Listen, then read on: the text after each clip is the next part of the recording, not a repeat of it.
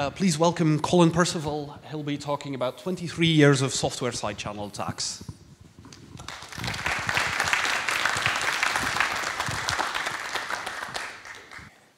Okay, um, this isn't my first time speaking at EuroBSDCon, but uh, it's been a while since I was last year. So uh, for those of you who don't know me, I've been a FreeBSD developer since 2004. My first major contributions to FreeBSD were FreeBSD Update and PortSnap. Uh, these days, my main contribution is maintaining the FreeBSD EC2 platform. So when Amazon changes things, which they do on a fairly frequent basis, I make sure that newer versions of FreeBSD will support new devices, new features, and so on. Um, I spent seven years as FreeBSD security officer, uh, and relevant to this talk, um, I am a, an occasional cryptographer. Um, you, will see later on some of the work I did, uh, but also uh, scrypt in 2009 um, is a, a, key derivation function. Um, my day job is as the author of Tarsnap. Uh, this actually came out of my work on FreeBSD. I was concerned as FreeBSD security officer that I had a lot of very sensitive information on my laptop, and if somebody got access to my backups, they might find out about a large number of remote root vulnerabilities that we were in the process of fixing. Um, I couldn't find any good solution for backups, so I decided to make my own. Um, and Tarsnap is my day job, and uh, it's what's paying for me to be here. So I'm going to talk about software side channel attacks. Uh, so just so you have some idea what I'm talking about here, um, black boxes, we, we, we think of code as being a black box. Inputs go in, something happens, and then output comes out. Uh, but in fact, these black boxes are not very black. Uh, they, they leak information via electromagnetic radiation, they leak information via power consumption. Uh, sound is uh, actually more of an issue than you, you might think. Um, sound, um, depending on how much power a system is using, it will heat up, and as things heat up, they expand. You can actually hear the, the power consumption of devices as well as measuring it you know, over the, the wire. Um, also, of course, information comes in, something happens, and information comes out, but how long it takes before that, that output comes out um, reveals information. And then, in some cases, these black boxes have internal state, and you might not leak information during the process uh, of performing an operation, but you might be able to extract it later on through another operation. Um, if you're leaking information deliberately, we call this a covert channel. Um, this is relevant in situations like mandatory access control. So think 1970s, CIA has shared computers, which some people with top secret clearance have and some people with lower clearance have, you want to make sure that the people with top secret clearance cannot deliberately leak information to the people with lower clearance, because the people with lower clearance aren't going to be searched when they walk out the door with it. But relevant to this talk, uh, if you're leaking information accidentally, then that's a side channel. Software side channels, um, what I mean here is simply those that you don't need any special hardware or physical access to exploit. So if you're looking at something over the internet, you won't be able to measure electromagnetic radiation, uh, power consumption, at least not with the granularity that you need. Um, but you can measure how long an operation takes, uh, and in some cases, internal state may leak uh, at a later point. And if you can get anything that we care about through a side channel, then we, we say you have a, a side channel attack. Um, Typically, when, when we're looking at leaking secrets through side channels, we're talking about cryptographic secrets. Uh, there's two reasons for this. First, historically, information that was being dealt with cryptographically, whether it's being encrypted or decrypted or the keys themselves, um, it's, it's important information because why would you bother using cryptography on anything that doesn't matter? Of course, these days, you're probably using TLS when you watch cat videos. So it's not so much of a correlation anymore, but historically it, it was. Um, and second, side channels are inherently low bandwidth. And so if you're going to be using a, an attack like this, you're going to want to apply it to a situation where there's a small amount of data which is very valuable. So cryptographic keys, they might be 128, maybe 256 bits. Uh, it's a lot easier to leak that much data than it is to leak a file of, of gigabytes, for instance. Now, I said uh, I'm going to talk about 23 years of, of side channel attacks, but uh, to set the stage for this, I need to go back a little bit further, um, 42 years. Um, in 1977, Rivest, Shamir, and Adleman published the RSA cryptosystem. This was the first published asymmetric cryptosystem. Um, I say published because, in fact, asymmetric cryptography was discovered by a mathematician at GCHQ about four years earlier, but it wasn't published. Um, at this point, it was essentially a mathematical curiosity. Um, for those of you who uh, went to uh, Warner's talk about the early days of Unix yesterday, um, just a, a back of the envelope calculation.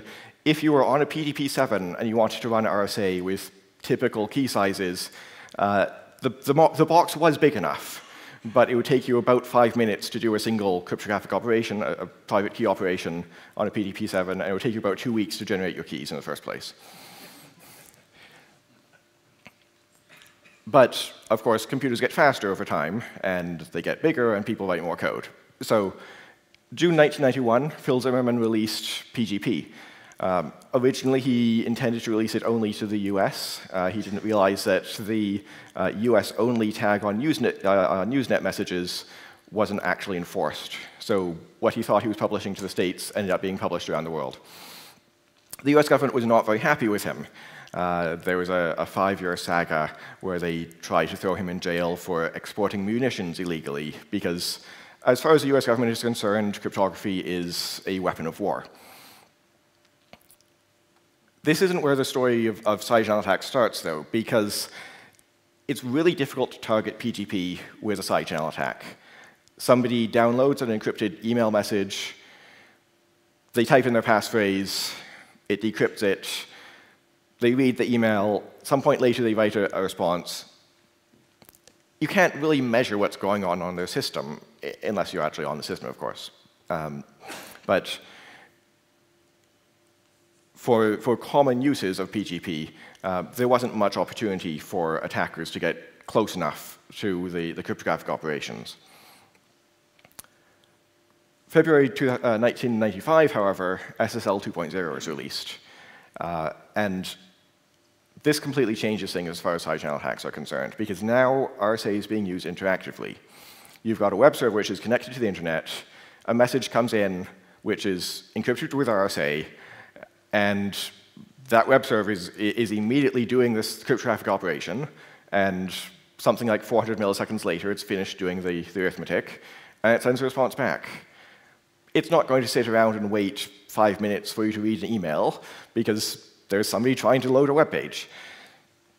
And so at this point, now there's suddenly an opening for timing attacks. And as you might expect, it didn't take very long. So in 1996, uh, Kocher published this paper, Timing Attacks on Implementations of Diffie-Hellman, RSA, DSS, and Other Systems. There's a lot of, of systems mentioned there, um, but all of them have in common that they use uh, large integer arithmetic, and the standard way of doing arithmetic at the time uh, used non-constant time modular multiplication routines. Uh, it was fairly straightforward to uh, look at the, the, operation being performed and figure out is this multiplication going to take slightly more time than normal or slightly less time than normal. And if you can do that, then you, you can feed particular inputs to this uh, web server, the RSA Oracle that, that's doing these calculations for you. Um, and by measuring how long it takes to get a response back, uh, you can get one or two bits for each, each uh, message that you send it. So around 1,000 RSA operations, uh, around 1,000 connections to the server, uh, and you can steal its private key. This was a theoretical attack. It really wasn't very practical. Um, it took around 400 milliseconds to perform the entire RSA operation that you would be you measuring, and the difference between a fast modular multiplication and a slow one was around 20 microseconds. So you would have to measure a difference of one part per 20,000 uh, in order to distinguish whether a particular bit of the cryptographic key is a zero or one. And to make it worse, uh, the networking at the time, fast Ethernet had just been released. 1500 byte packet took 120 microseconds to transmit. And so your signal uh, could be absolutely dwarfed by a single packet getting in the way on, over the network. But uh, over time, attacks always get better.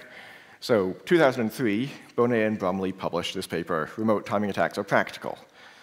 Um, they attacked RSA in a, a, slightly different way. They were looking at a, a timing channel on Montgomery reduction.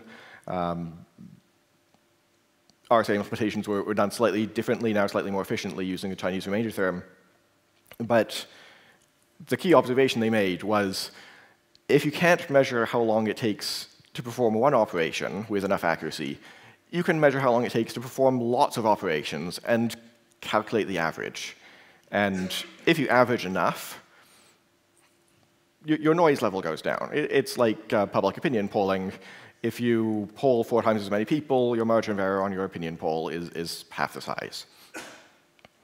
So rather than timing around 1,000 RSA operations, they're now timing about 2 million operations. So now they're making 2 million connections to a, a, secure web server. They say in their paper it takes about two hours to do this. So the joke at the time was if you suddenly notice that your mostly idle web server has its CPU being pegged to 100% for two hours, somebody's trying to steal your RSA key. Of course, that's if somebody's being really obvious about it. Um, you can do it in two hours, but you could spread the, the connections over a longer period of time and then not have as, as obvious a, a signal in terms of the amount of traffic. But this attack, which was considered to be purely theoretical against RSA, um, at this point now suddenly it is real.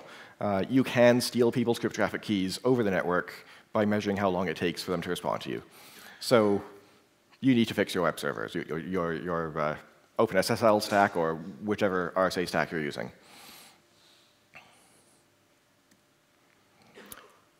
Fortunately, there's an easy way to fix it for these particular attacks. Um, these attacks made use of chosen inputs. So you're connecting to the server and you're deciding what value to send to it to, for it to perform an RSA operation on. This is a very common theme with cryptography uh, it is always easier to attack cryptosystems if you can make use of chosen imports, whether it's chosen plaintext or chosen ciphertext. Uh, and in fact, it's, it's a common uh, practice in designing cryptographic protocols that if you want to design a protocol to be secure, even if some of your components end up being not as strong as you hoped, uh, you design your protocol to avoid allowing attackers to choose what values they're going to be operating on. So the defense that they, they provided here, the blinding approach, is rather than operating on the value x that you're given, raising it to power d, you can pick a random value r, raise it to power e, which is a small number, the, the RSA encryption exponent, multiply that into x. Now you have a different value, which you raise to the power d, your RSA decryption exponent, and then you can divide out the value r at the end. Uh, because the way RSA works, um, r to the e to the d is just r. Um, it cancels out. You get the same answer at the end. Um, but you're not performing the exponentiation to power d with a value that was provided by the attacker. Uh, since the public exponent e is much smaller than the, the private exponent, um, calculating r to power d and r inverse uh, are both very fast. Um, in the Boneh Brumley paper, they, they say typically 2 to 5% performance cost of applying this defense. And as long as a, a, new random value R is chosen for every operation, there's no way for the attacker to predict what value you're going to be raising to power D. And so there's no way that a, ch a chosen uh, input attack can reveal anything to them. They, they will see that some operations are faster than others, but it will be completely random uh, as long as it's a, a different random value r for each operation.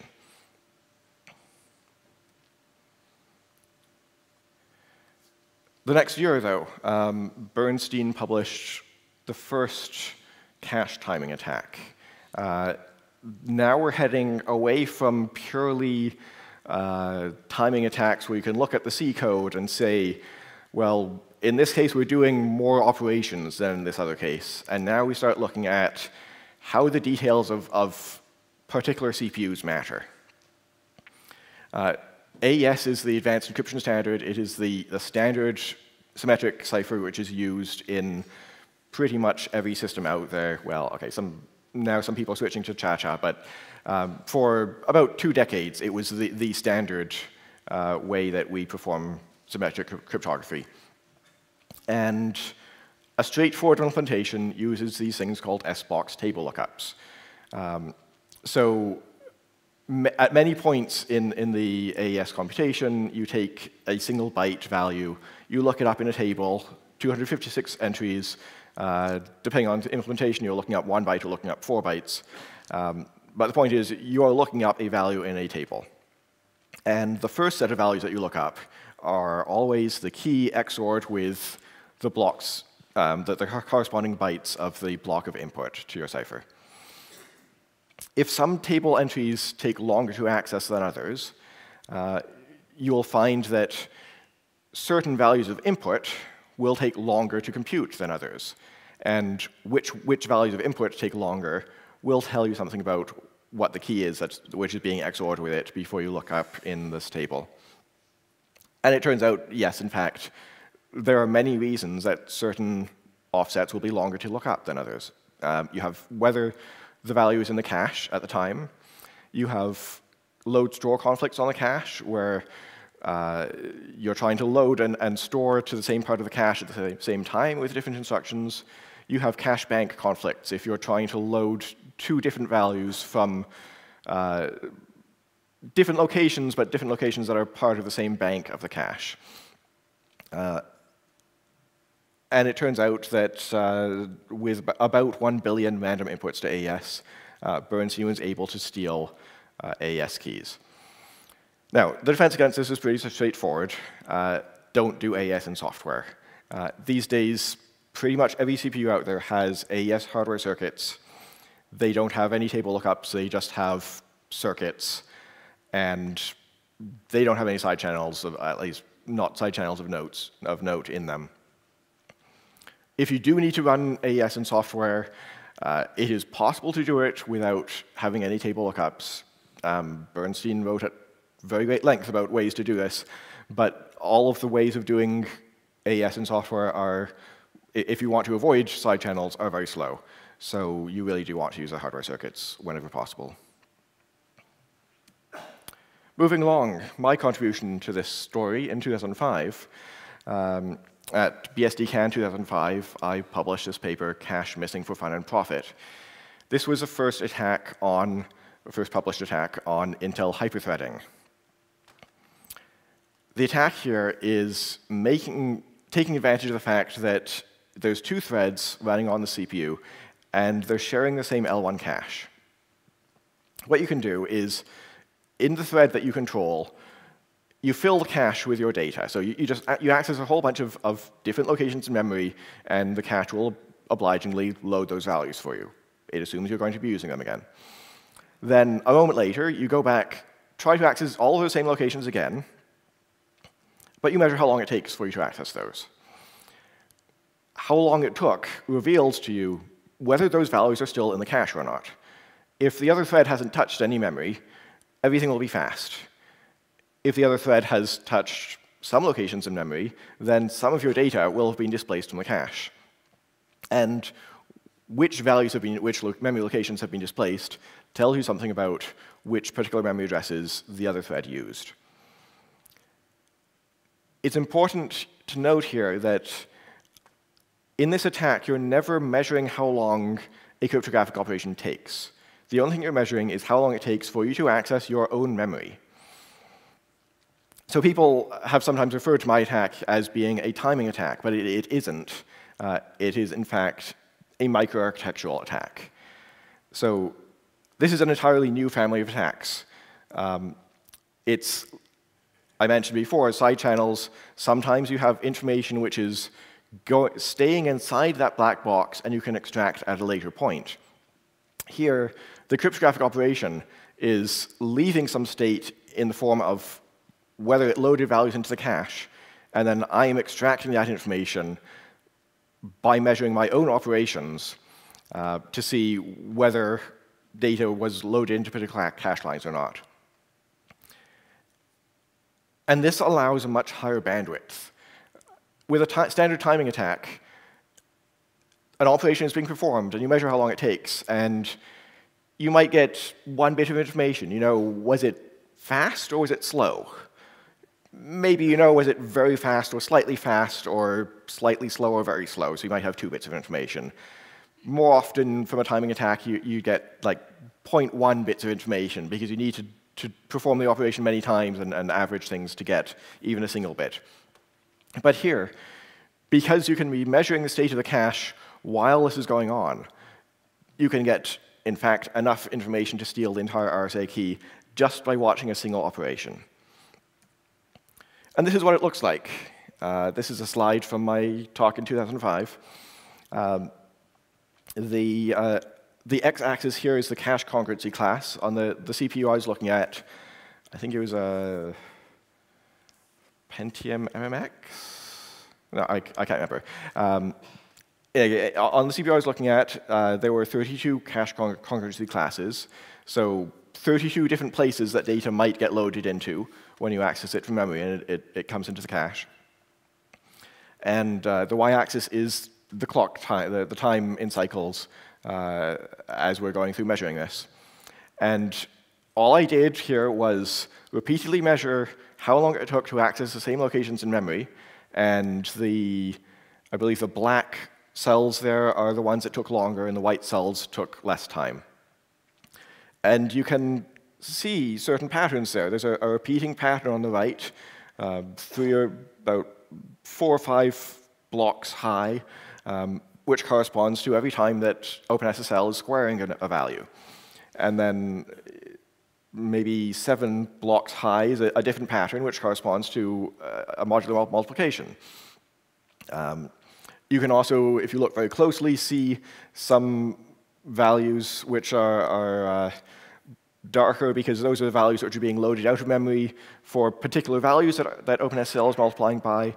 You can also see three uh, horizontal lines, which I think are clock interrupts happening, where the, everything's getting uh, displaced because the kernel is doing something with the clock interrupt.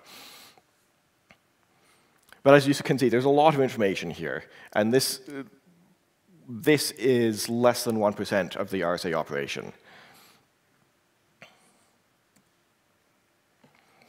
About two months after I published my paper, uh, the team of Osvik, Shamir, and Tromer published their work. Um, they had been investigating the same issue with hyperthreading concurrently with me. Uh, they were a few weeks behind me all the way through. Um, but instead of looking at RSA, they were looking at AES. Um, they used the same approach of looking at the how long it takes to access your own data. Uh, you load it into the cache and then measure how long it takes to access the same values again um, in order to steal AES keys. Um, as before, because the L1 cache is shared, you can measure what's happening with somebody else using the same L1 cache. Uh, they also demonstrated stealing AES keys uh, after the fact. So they, they looked at Linux dmcrypt. This is fairly similar to uh, FreeBSD's GELI. It's an encrypted file system. Um, and what they would do is they, they had a, a file system mounted, and a, an unprivileged user would write something to disk. And after the kernel returned to userland, so the cryptography has happened, the disk access has, has happened, maybe 10 milliseconds later, after it's been written to disk, returns to userland, and then they measure the state of the L1 cache. And even at that point, there's enough information left in the L1 cache that they could steal the AES key that dmcrypt was using inside the kernel. And uh, what they showed was, depending on the CPU and whether they're measuring the operations while they're taking place or after the fact, uh, it was between 100 and a million AES operations they need to measure in order to steal that AES key. So again, this is uh, compared to Bernstein's attack. Bernstein was measuring 1 billion AES operations. Here, it's between 100 and a million. So you have a lot more bandwidth when you're performing a microarchitectural attack rather than simply looking at timing. Again, we know how to defend against these attacks. Uh, in my 2005 paper, uh, I explained exactly what you need to do. Uh, you need to avoid having any way that your secrets are leaking through conditional branches, so which, which, particular, which particular instructions you end up executing. So don't put your secrets into if statements or selection operators or for or while loops.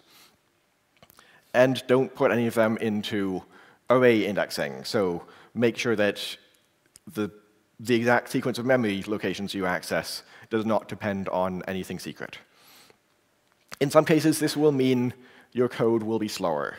Instead of having a conditional, a selection operator where, depending on the condition, you either do foo or you do bar, what you would need to do is do foo and bar, and then, based on the condition, combine them and, and get the right value. Execute both sides instead of just one.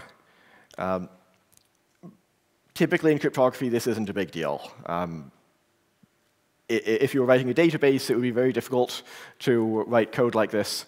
But cryptography, you're dealing with a fairly small amount of data. You're, there's a fairly small number of different things you might be doing. So it's not too difficult to write your code to avoid uh, vulnerabilities like this. And there's also a side benefit that in addition to preventing any microarchitectural side channels, this also gives you a, a guarantee against timing side channels. Um, it does not mean that your code is always going to take the same amount of time to, to run. Uh, depending on the state of the cache, it may take longer because you need to load your, your data into the cache. But whether it takes longer or not will not reveal anything about your secrets because you're loading the same values into the cache regardless of, of the secret values you care about. Over the years, after 2005, uh, we got more attacks. Um, Intel in 2005 claimed they had an attack against RSA exploiting the shared L2 cache rather than the L1 cache. Um, I say claimed, um, they never published this.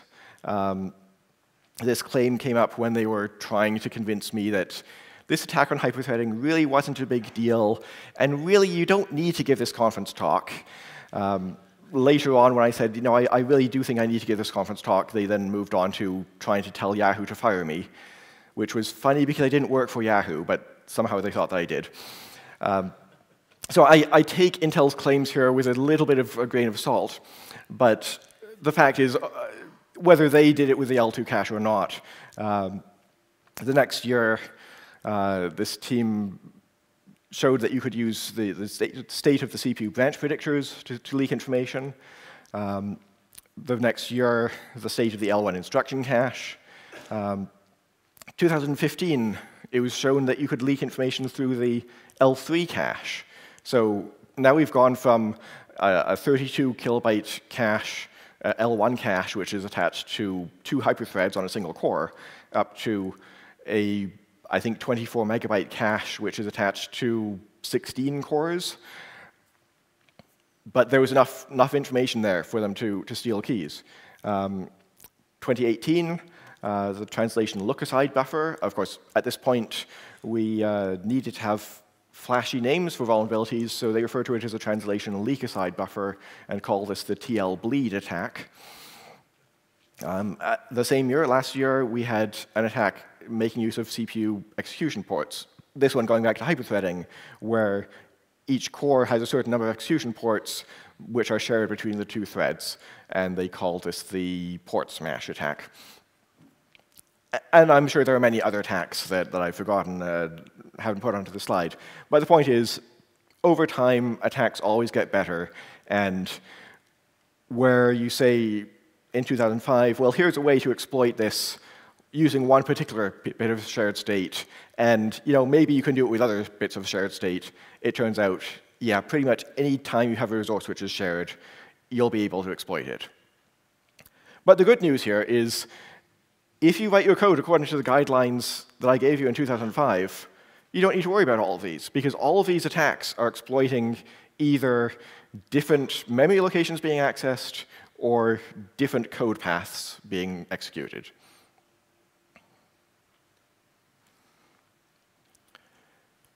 Before I move on to further attacks, I just want to go back and talk a little bit about CPU ar architecture. Those of you who took a CPU architecture course in, in university can fall asleep for five minutes.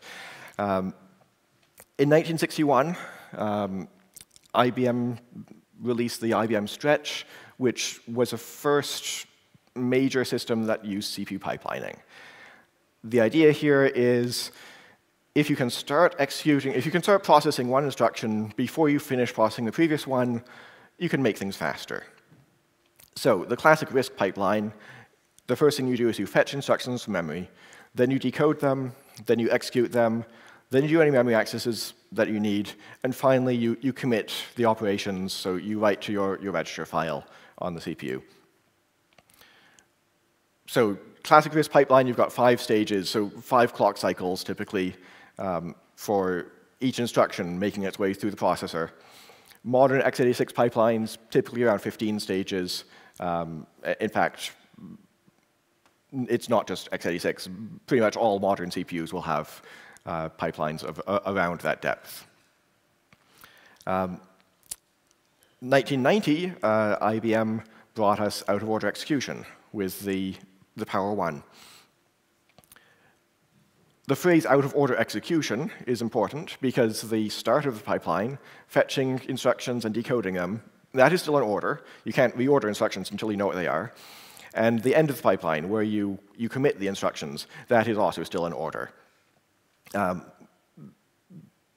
it's not immediately obvious why the, the commit stage needs to be in order, but in fact, anytime that you, if, if you want to deal with exceptions, it's important to have the, the commits happening in order, because if you're going to, say, throw a division by zero error at some point, uh, you want to make sure that whatever exception handler you have, maybe, maybe your exception handler is going to say, if you try to divide by zero, just insert a, a zero there instead. And then if you want to go back and resume from that point, you need to know how to resume, and the only obvious way to resume is to say, well, everything before this instruction should have completed. And then we can con continue from the next instruction. Uh, if you're committing instructions out of order, then you're, you're, sort of lost. There's no way to, to deal with exceptions.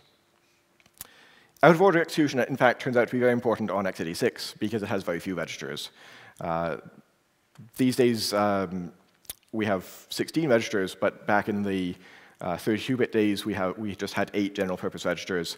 And if you've looked at assembly code you get from unrolling loops, um, you, need, you, you, find that you've got the same registers being used over and over again um, because you, you, just you don't have enough to use different registers for, for each time you go through the loop.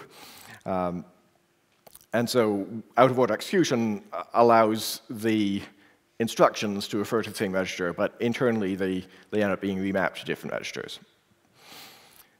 About for the past 40 years of CPU design has really been built around the idea that the instructions must, must flow. It is very easy to add another ALU to your CPU. It's very easy to add another multiplier.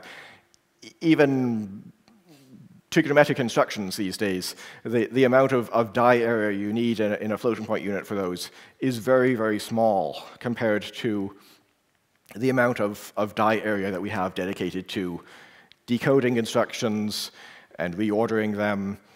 Uh, and of course, these days, most of, most of your die area on the cache, uh, on the CPU, is just the cache. Um, so the, these give us a lot of improved performance, um, but of course they do bring risks with them. I'm sure you've been waiting to see the word speculative execution. So modern CPUs, you start executing, you start handling instruction n plus 1 before instruction number n has completed. There's an exception here if you insert something called a serializing instruction. Then that tells the CPU, stop here, wait until everything is finished, then you can proceed. But normally you don't, you don't insert those because, well, that slows everything down. But uh, when you're dealing with, with, uh, with out-of-order execution or even just regular pipelines, um, sometimes things don't go the way that the CPU expects. So we have these things called pipeline flushes. Uh, if you mispredict a branch, you, you're running a loop and the CPU says, oh, you, you've been going around this loop a thousand times.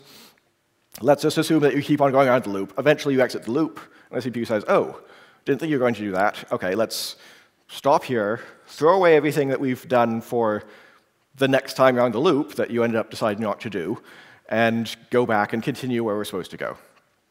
Indirect branch target misprediction. Um, if you have function pointers, typically you're usually calling the same function many times. Occasionally you call a different function. In order to speed things up, the CPU tries to predict where the code is going to go next. Sometimes it gets it wrong, so it needs to do a pipeline flush. Exception handling, of course. I mentioned divide by zero. If the CPU waited every time it saw a divide instruction and said, let's, let's wait here until we make sure that we're not dividing by zero, it would slow things down. So the CPU will just hope that you're not dividing by zero, keep on going. If it turns out there's an exception, flush the pipeline, keep on going after that point. Data hazards, uh, and my personal favorite, self-modifying code. Um, if you write to a memory location, which is the location that you're fetching instructions from, the CPU will say, oh, uh, OK, that instruction I fetched isn't the one that you actually want me to execute. Flush the pipeline, reload the new values that you stored into, into memory uh, with your self-modifying code. Every time you see a pipeline flush happening, the speculatively executed state is not committed because it gets flushed away. Uh, and so the architectural state, the value of registers, is not changed. But the microarchitectural state may have changed. And this is a problem because all these speculatively executed instructions may have affected things like caches. So, the meltdown attack. This was referred to by some people as Spectre v2, but I think is actually the, the sensible place to start. Try to read from a location in memory that you can't actually access. Do something with a value you just read. Hope that you do that before that trap that you know is going to happen gets to the end of the pipeline and is committed. On Intel CPUs, they are handling traps at the time of instruction commit, not when it first deals with the instruction. As a result, even though the pipeline is flushed, you can see the state in your cache uh, that was affected by these speculated instructions. Similar approach uh, called the rogue system register read. Uh, the, the RDMSR instruction, if you are not privileged, it will trap, but it traps when it gets to the end of the pipeline. You can do something before you get to that point and have the pipeline flush. The lazy floating point state switching attack, uh, if the floating point unit is marked as not present, which is what we used to do when we were, didn't want to, to copy state in and out, um, because some processors, some some processes do not use the floating point unit. Um, you could access something on the FPU. It would trap, but meanwhile, before the trap actually happens, you can do something with a value that you just accessed. SWAPGS, same thing. In all these cases, because the exception is being handled at the end of the pipeline, you can speculate through the faulting instructions. As far as I know, this is just an Intel issue. AMD uh, and other non-Intel CPUs are at least mostly not affected because when faults happen, they are dealt with sooner. Rather than waiting until they get to the end of the pipeline, they do something earlier.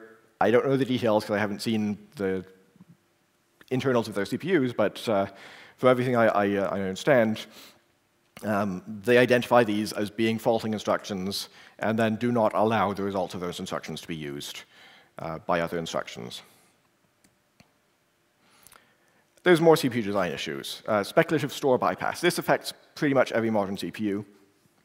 You have an instruction that, that writes to a location in memory. You have another instruction that reads from the same location. If the CPU realizes that it's the same location in memory, then it will say, let's not run this read until that write is finished. If the CPU doesn't realize it's the same location, which can happen with out-of-order execution, uh, then it will read the value from memory. It may go ahead, you, you, may go ahead and do something with that value.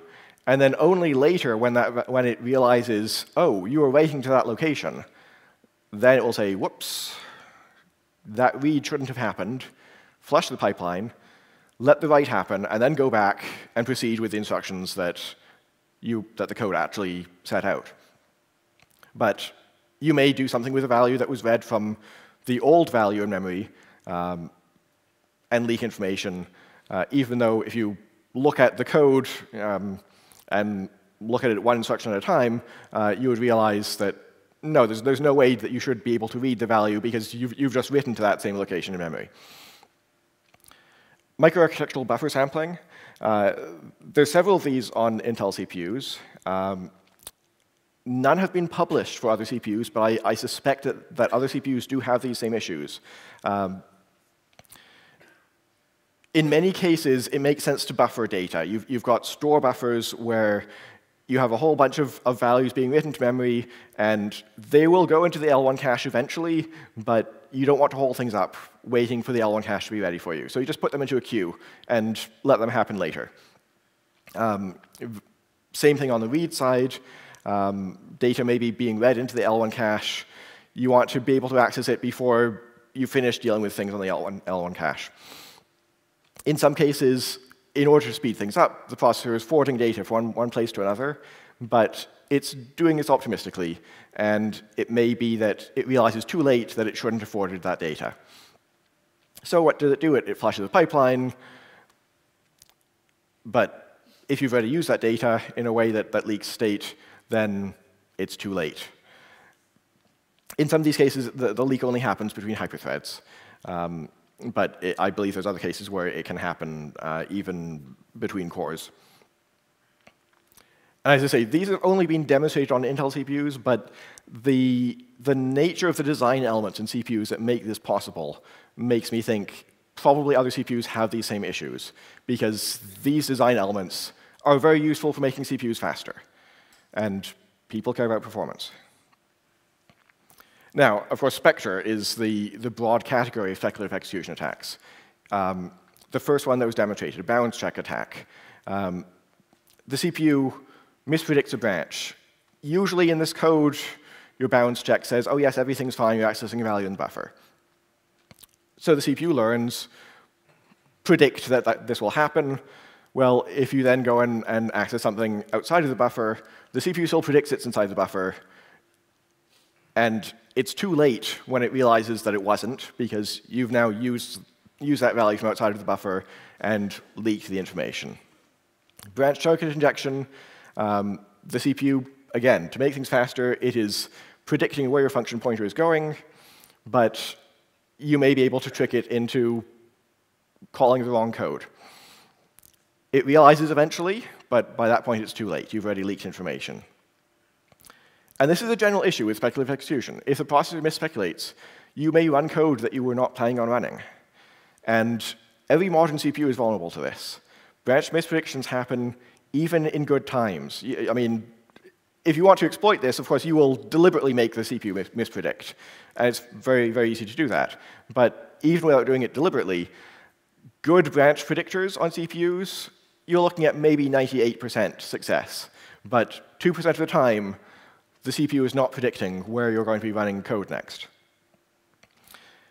But the good news here is that this does not bypass operating system level privilege boundaries. So sandboxes are your friend. If you can put the information that you care about, your cryptographic information, for instance, into a different process, then straightforward Spectre attacks will not be able to leak that information because it is speculatively executing something that that process could have executed. It just wasn't what you were trying to execute.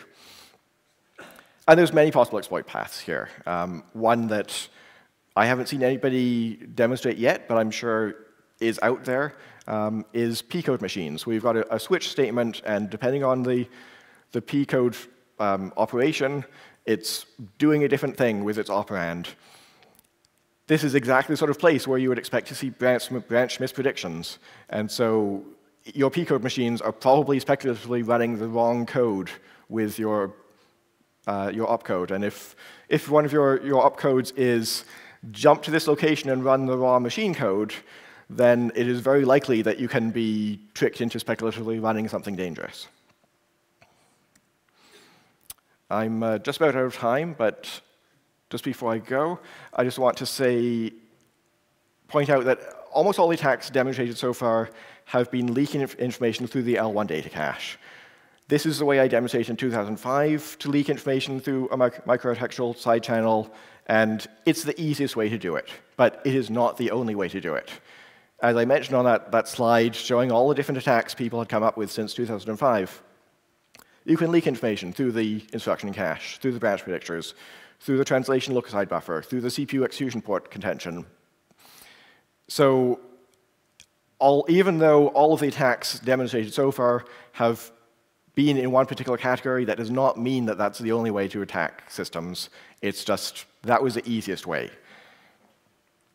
And in fact, you don't even need to execute instructions in order to leak information. Uh, instruction predecode leaks, loads data from the L1 data cache. And when that happens, of course, it leaves a, a footprint behind in the L1 data cache.